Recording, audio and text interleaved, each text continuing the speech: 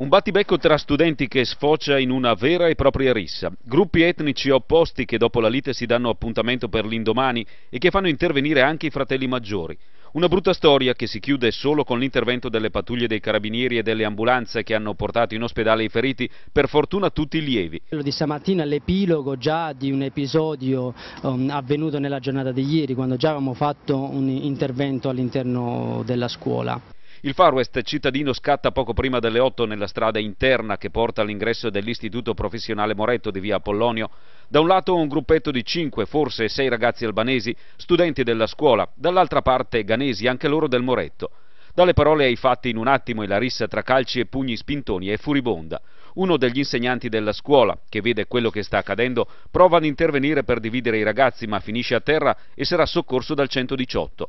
Alla fine sul campo restano in diversi, due studenti sono trasferiti al civile, altri due medicati sul posto. Una esplosione di violenza a scuola che preoccupa il preside.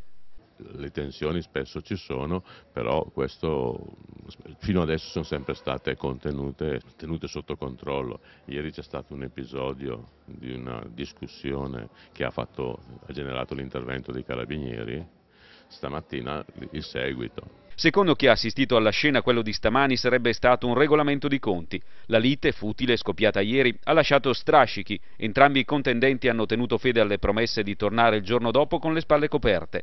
E la rissa è stata inevitabile tra animi già surriscaldati. Ai militari della compagnia cittadina e al maggiore D'Amato che stanno parlando con ragazzi ed insegnanti il compito di dipanare la matassa.